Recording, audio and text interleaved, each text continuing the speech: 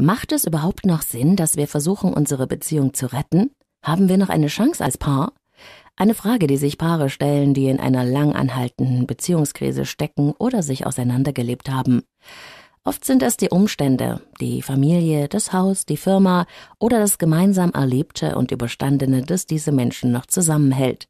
Aber kann man das noch Liebe nennen? Gibt es da überhaupt noch eine gemeinsame Basis? In solchen Situationen rate ich meinen Klienten dazu, sich erst einmal allein und mit sich selbst über ein paar wichtige Fragen klar zu werden. Es macht Sinn, sich dafür Zeit zu lassen und diese Fragen in Ruhe zu beantworten. Vielleicht ist es auch sinnvoll, sich dafür eine kleine Auszeit zu nehmen. In jedem Falle sind Notizen hilfreich. Und erst wenn man mit sich selbst im Klaren ist, kann man auch mit dem Beziehungspartner neu verhandeln oder Lösungen über die Beziehung finden.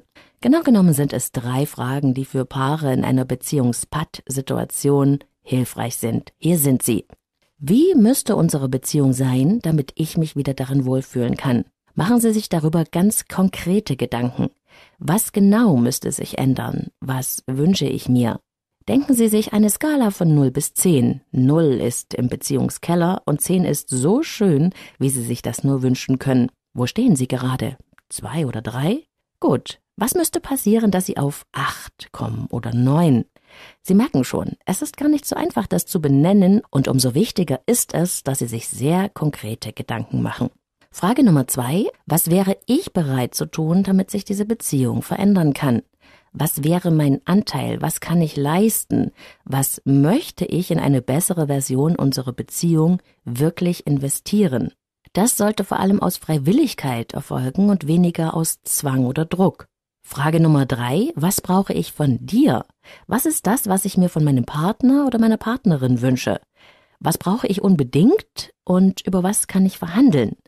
Auch hier geht es nicht um allgemeine Werte wie Treue oder Kommunikation, sondern wie genau stelle ich mir denn Treue vor? Was brauche ich, um mich geliebt zu fühlen? Welche Verhaltensweisen wären mir wichtig? Wenn Sie selbst Antworten auf diese Fragen gefunden haben, dann ist der Zeitpunkt gekommen, darüber zusammenzusprechen. Bewerten oder verurteilen Sie nicht. Wenn Sie wirklich ehrlich zu sich selbst und Ihrer Partnerin oder Ihrem Partner sind, dann merken Sie in dem Gespräch über die drei Fragen, ob Sie noch Überschneidungen finden, die als gemeinsame Basis für Ihre Beziehung dienen können, oder ob Sie sich schon so weit voneinander entfernt haben, dass Sie Ihre eigenen Grenzen verletzen würden, um dem anderen entgegenzukommen. So ein Gespräch kann schmerzhaft sein, aber diese Ehrlichkeit ist das größte Geschenk, das Sie sich selbst und dem anderen machen können. Und das wird Sie in jedem Falle weiterbringen. Bis zum nächsten Mal bei Leben lieben lassen, Ihre Claudia Bechert und noch mehr Tipps zu Persönlichkeit und Beziehung wie immer auf meinem Blog und Podcast www.leben-lieben-lassen.de.